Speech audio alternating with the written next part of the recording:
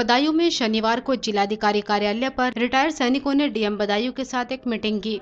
इस बैठक का आयोजन retired junior commissioner officer Vijay Ratna Singh फौजी एवं पूर्व सैनिकों ने किया और जिलाधिकारी प्रशांत का फूलों के साथ स्वागत किया। इस बैठक में सभी पूर्व सैनिकों ने समाज में हर तरह से सहयोग करने की बात कही। उनका कहना है कि लोगों को जहाँ भी हमारी ज़रूरत पड़ेगी, हम लोग सोल्जर की तरह सभी का साथ देंगे।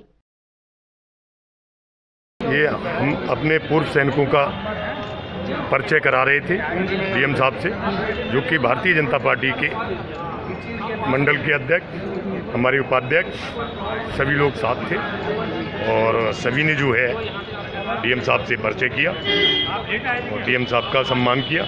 तो कुछ और डीएम साहब ने आश्वासन दिया कि सैनिकों की कोई भी परेशानी होगी हम उसको सॉल्व करेंगे। और हमने भी उनको आश्वासन दिया कि जहाँ भी ज़रूरत पड़ेगी हम पूर्व सैनिकों की तो हम जिस तरह से सेना में काम करते थे, इस तरह से आज भी एक सैनिक के तौर पे काम करके और समाज के लिए आगे बढ़ाने का काम करेंगे।